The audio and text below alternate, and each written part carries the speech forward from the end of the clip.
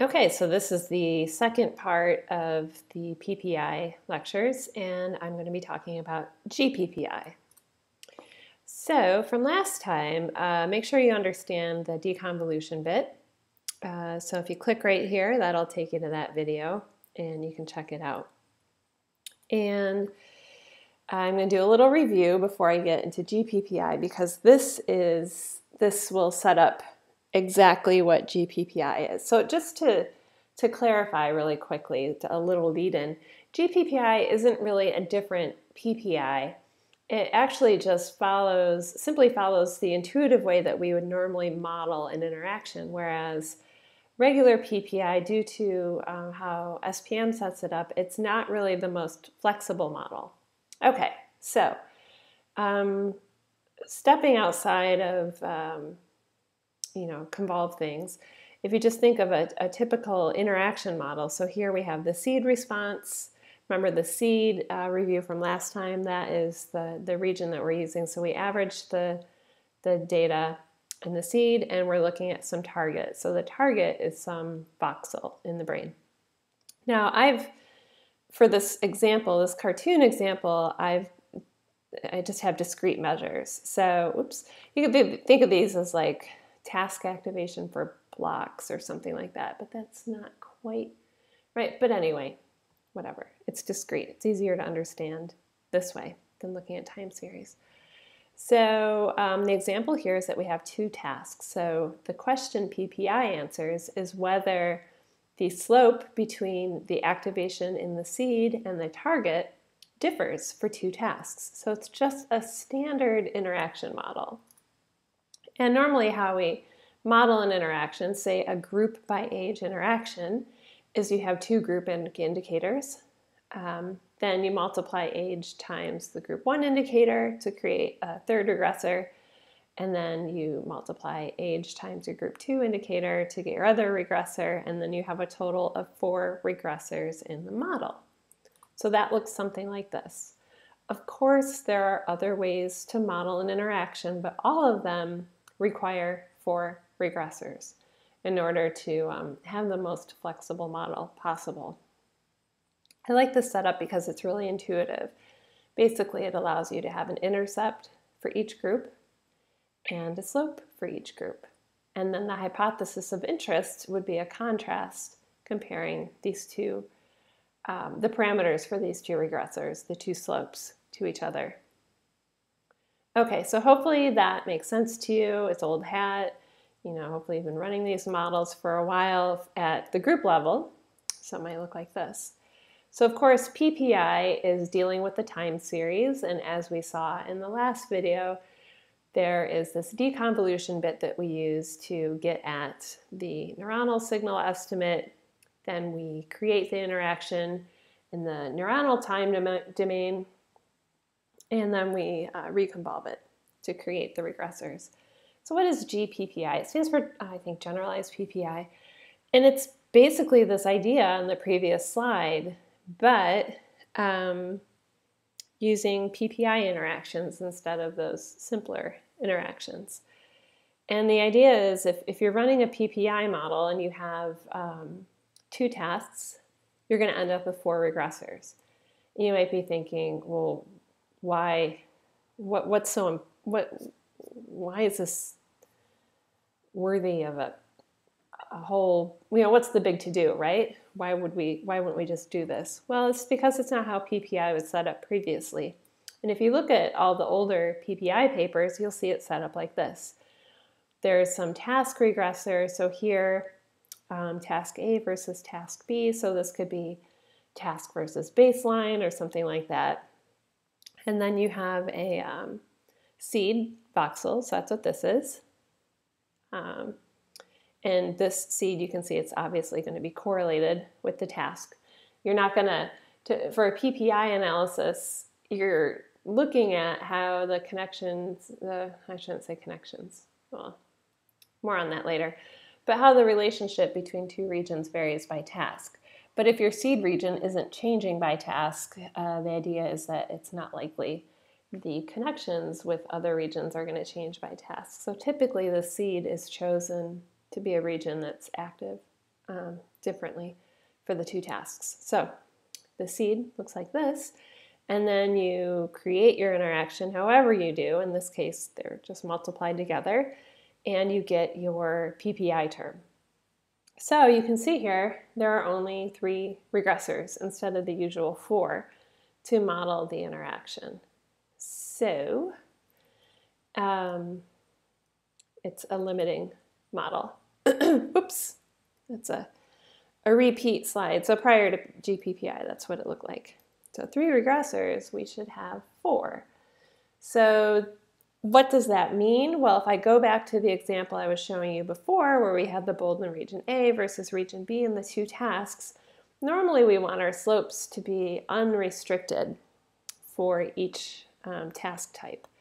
But if we use that style of the PPI, it forces the slope to be centered about, um, to be equal in opposite directions. So they're centered about zero. So this is the analogous model um, here. So you'll see that the fit isn't as good and the slope for the red line is the same in magnitude as for the blue line. They just have an opposite sign and they're reflected about zero. So um, that's not great. That's not what we want our model to do. So, right, then we have this tech note from 2012 by Donald McLaren and others, and it shows that uh, this GPPI or generalized PPI is a better approach. And again, it's just going to follow our in intuition. And the intuition is our model needs to include a task regressor for each task and an interaction regressor for each task as well. Um, right, so the example I'm going to focus on, it had three tasks, A, B, and C, and the contrast of interest is the PPI for A versus B. So sometimes there is an effect of uh, A and C, or with C, I should say, a PPI with C, but it's not of interest. But they're still going to look at how um, the existence of that effect impacts the model fit if you ignore it or include it. Okay, so hopefully that makes sense. And I, I have to admit, some of the examples I showed earlier, they're not exactly um, parallel. Traditionally, if, if you're, and let me explain why, traditionally you probably are in this three task scenario because the two tasks you're often comparing are something like task A to task B. And the third quote unquote task is your baseline. So um, even this example is a little misleading because you're almost always going to have a baseline as well. So um, yeah. Anyway, and, and, that's what's missing there. But the analogy is correct, the analogy about the slopes. Okay, so here are the simulations that they ran. Um, right. So there's one called SPPI plus tasks model. That's SPM's standard PPI. So again, that's only having a single interaction term when you should have an interaction term for each task. So the single PPI term is a PPI for the difference in the two. And that's what I'm saying here, PPI for A minus B. And then there's a task regressor for A, a task regressor for B, and the seed voxel time series. So you might be thinking, wait, Jeanette, there are four regressors. One, two, three, four. But there's also um, baseline task here. So technically, we need to have um, two for this interaction. If there were only two tasks, say a task A and say B was baseline, then this model would be fine. But in reality, and I'm not even talking about the task C, but you have the, the baseline as well. Okay, so hopefully that's clear. Um, for GPPI 2, this is a PPI for A and a PPI for B task regressors for A and B. So there are the four regressors and the seed. So the reason the seed is there is to take care of the other non-A, non-B things. And GPPI3 is like the last one, except C is added as well. So you have a PPI for C and a task regressor for C as well. Okay, so here's some of the results. I've uh, cut up the table a little bit just to show a few. When things are in bold, that basically means it's bad. I, I, I wish the results were presented in a slightly different way. Um, what this is showing are the effect sizes. And oftentimes in models, depending on how you set your model up, the effect sizes might look wrong, but your statistic will be fine. It's just because the model is parameterized differently. So I don't always, um, I wouldn't rely on looking at effect sizes generally. But here it's fine. Um, I forget what the number in parentheses is. I apologize. Uh, maybe it's the variance. I don't know. We're just going to skip it because the, the point will come through. You shall see. So what's happening here? These are the beta weights. So the beta weight for A is some value A. The, the beta weight for the PPI for B is A minus 1. So what this is telling me is that the interaction effects estimate should be 1 because the difference between these two is 1. There is no PPI with C. The main effect for A, this is just the task activation, is A, and then B is A minus 1. So B is 1 larger there. So this would correspond to the intercept. The intercepts are 1 apart, and the slopes are 1 apart. Um, then there's the seed activation, and then the constant. So now remember I said SPPI, the old way, SPM's way of doing it, it's assuming the slope is centered about zero. So what happens here is that since it isn't, you end up getting um, an underestimate of the interaction effect um, because the model's not fitting it right. So I'm going to flip back really quick. It's analogous to running this model when you really wanted to run something like this. So it's forcing the difference between the slopes to be centered, or the slopes are centered about zero, which then reduces the effect size. Um, I think a, a, a, way I would have preferred looking at this is just the residuals or something. And maybe they did. I'm not saying they didn't. Um, I, read this paper a couple months ago. So anyway, GPPI gets it exactly and GPPI3 also gets it exactly. Again, GPPI3 is just when they added something for C. So, right, when they do add something in for C, we can see that GPPI2 fails because it's not modeling the C effect at all. And uh, let's see, what's this one doing? Now the, the activation for C is related to A and B, so GPPI2 is also off again, but GPPI3 works.